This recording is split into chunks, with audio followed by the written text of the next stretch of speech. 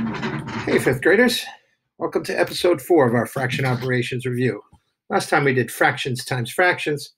This one is fractions times whole numbers.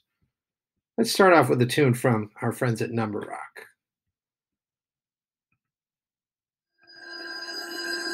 Check it out.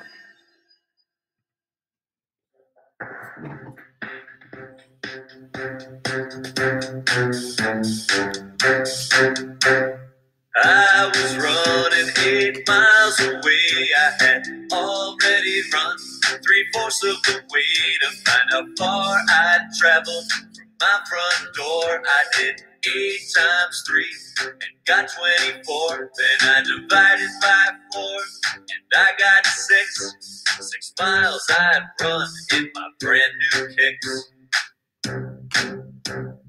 Multiplying whole numbers by fractions is awesome, yeah. But there's a similar problem we'll not have forgotten. Multiply by the top, divide by the bottom, multiply by the top, divide by the bottom. I was riding to the video game shop. I had ridden five, six, twelve city blocks. How far I'd gone is what I wanted to find. Twelve times five is what I multiplied. I got sixty and then divided by six. I had ridden ten blocks and did a cool bike trick. Multiplying whole numbers by fractions is awesome, yeah. But there's a similar problem we'll not have forgotten. Multiply by the top, divide by the bottom, multiply by the top, divide by the bottom. A girl used repeated addition to see if she could use the strategy to solve a half times three. She thought fast and then it came like a flash that a half plus a half plus a half is three halves. She converted three halves to one and a half. She had a crush that would last. It was a crush on math. Multiplying whole numbers by fractions is awesome, yeah. But there's a similar problem we'll not have forgotten. Multiply by the top, divide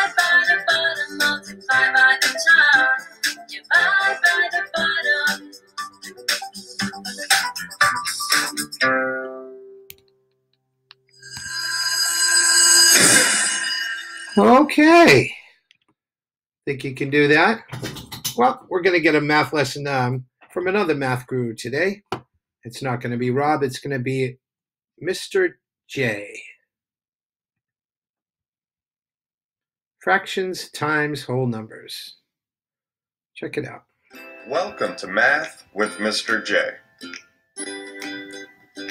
In this video, we're going to take a look at how to find a fraction of a whole number.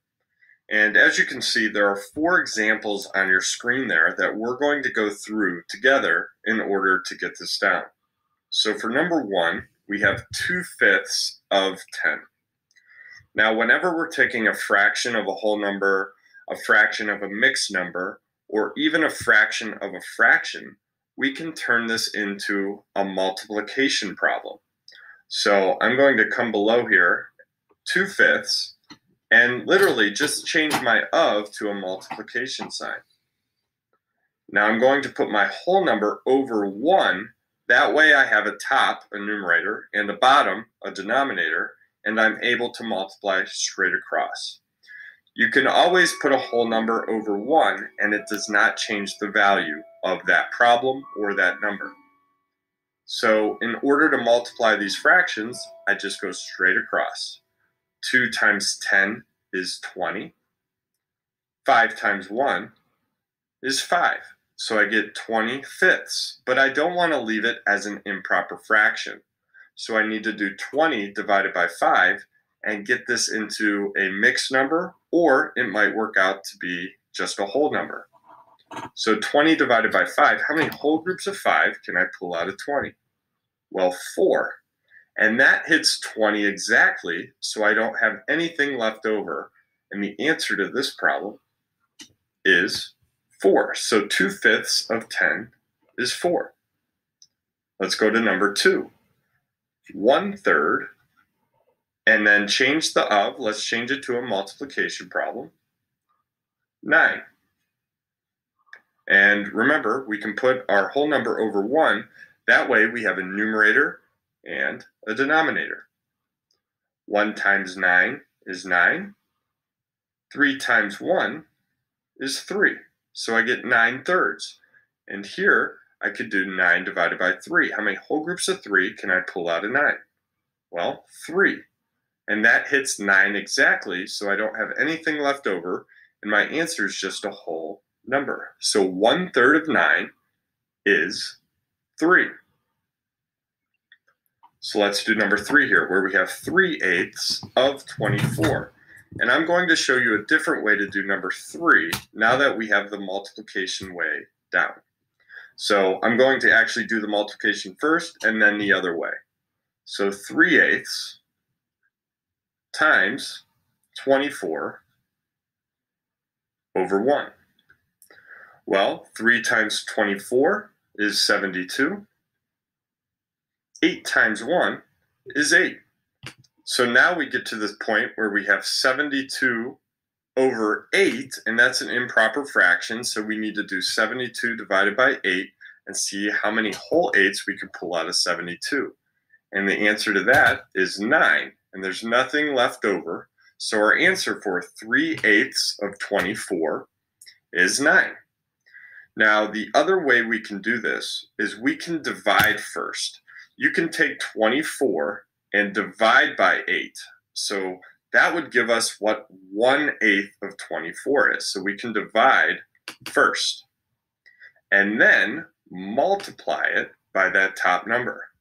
So again, we can do 24 divided by 8. That would give us what 1 eighth of 24 is.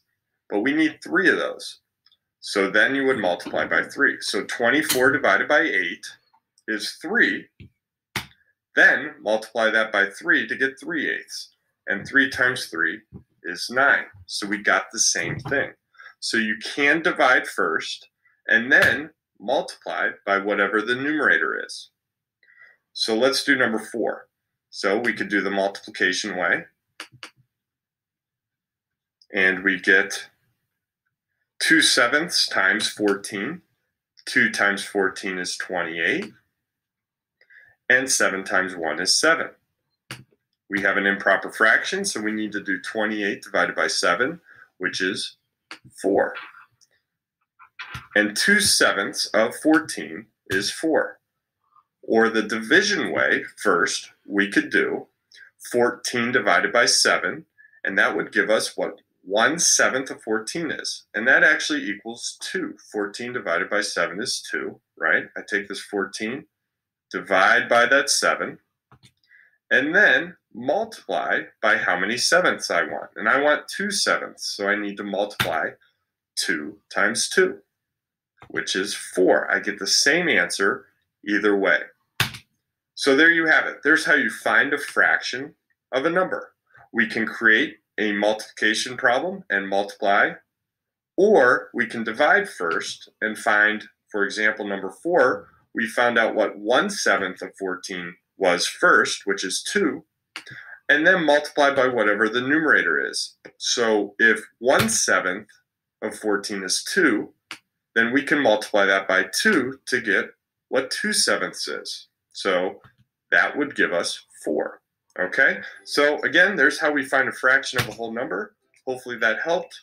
Until next time, peace.